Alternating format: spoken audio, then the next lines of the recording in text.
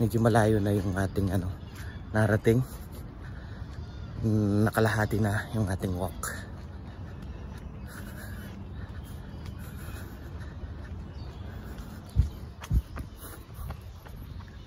Yan mga Pinoy tourists ganyan.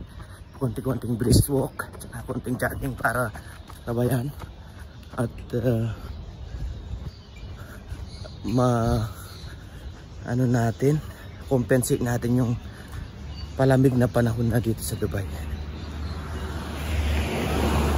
Dito ako na sa ano mga Pinoy Toads sa tapat ng metro station. Sa may center point. Ito yung last, last na uh, station ng red line papuntang uh, Dubai. Ayan. Baga north north station dito na tayo sa tapat ng Bin Sugat Center mga Pinoy Toads naka may git 5k steps na tayo. So ibig sabihin uh, kalahati pa lang ng ating target. Malamang siguro aabot naman yung magiging steps natin hanggang sa bila natin.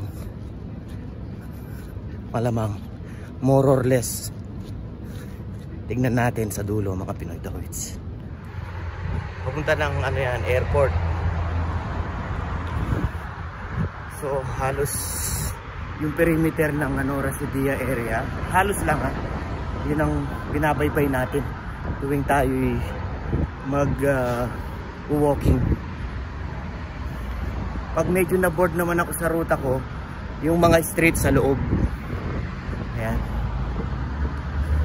hindi ko pa tinignan kung ilan na yung na steps natin pero sa oras 6.20 uh, 7.23 na 25 7.23 am so nagsimula tayo kanina mga uh, 6.10 to 6.15 medyo matagal-tagal na rin. May gitsang oras na. Pero malapit na lang tayo sa bahay mga Pinoy Towits mabilis. Nakaisang oras na tayong paglalakad mga Pinoy Towits bisitahin natin sila galag sinasabi ko eh. Ano sinasabi ko? ah, Sila para manalo sila susunod. ayan po si Lagalag oh. binisita natin ng tropa Eh, sipra mo na eh, hindi lumalaban sa atin kasi lang. tuwan-tuwa pa yung mga players natin dito sa ano Ayun, Sabado ayun. nights Pare, oh, nagpapakon din oh, nagpapasexy rin to eh. Ayun, ayun, ayun. Maganda, maganda, magandang umaga. Yan po sila galag. Dinaanan natin ang tropa dito. Tapos na rin sila. Nakadalawang, nakadalawang laro kayo no? Oo, pare. Nakatatlo siya. Hindi, tatlo pero isa. Ayun. Dalawang talo sila. Tayo naman eh, naka... Gismil na lakad na. Gismil. Skill ba? Oo. Mabilis. Hindi, at bibili na naman tayo ng sinigang na baboy para medyo may mapagpawisan tayo. Oo, para may gugulin tayo sa Ayan. ating mga ano. Para mamaya ay makapagkantahan ulit tayo ng isang maganda. Oh, water. Ah, may water ka? Ay, ikaw, isang tuwag. Ayan, siya lang tubig. Tinchay, one water, one egg. Ayan po, matindi si Lagalag. yung mga taga-Adsman, no?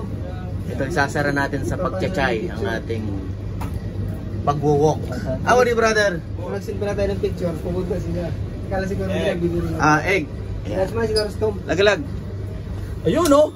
Itlog. Ah, my friend, there is chilled, more chilled, Pampabilog. cold, cold. Medyo malamig.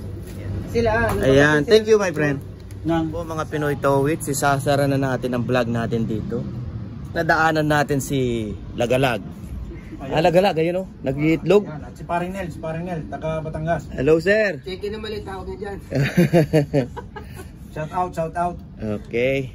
Yan po kumakain na ng itlog si Lagalag. Matindi si Lagalag kasi matindi yung laro niya. Nakailang shot ka kanina? Pare, tanong mo dito. Dami exhibition.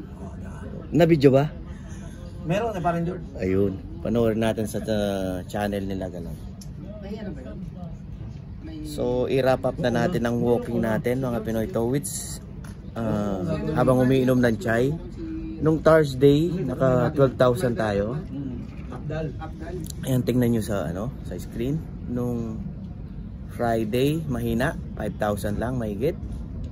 Kahapon, medyo mahina rin. 8,000.